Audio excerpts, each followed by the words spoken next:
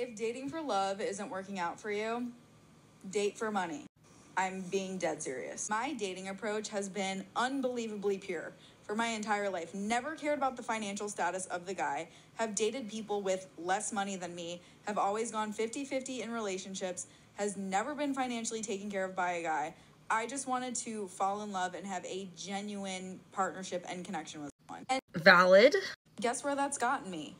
Used, taken advantage of, single. My ex, who I thought I was in love with at the time, we split everything 50 50, including rent. We lived together.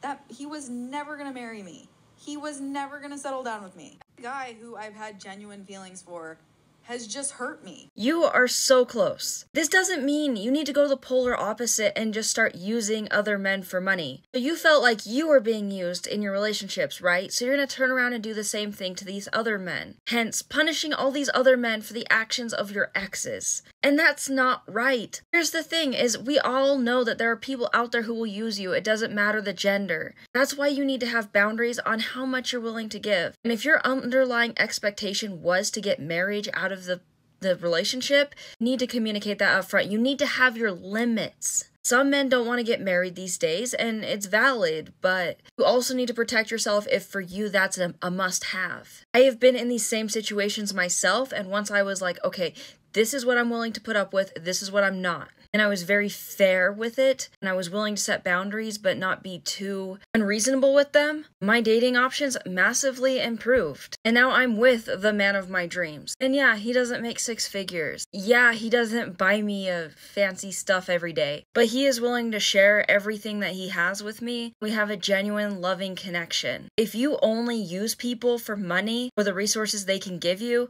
you're not gonna have deep, loving relationships. You're gonna have very shallow relationships. And I know some women are like, well, I have my girlfriends, I don't care. Well, throughout your life, your girlfriends will be close to you and far away from you. Because ultimately, we all prioritize our romantic relationships over our friends. That's just how it works. And yes, having girlfriends is absolutely wonderful. But you're gonna want someone by your side that's your partner, where you will be first most of the time. And that's gonna be in your romantic relationship. So you want that to be a deep connection.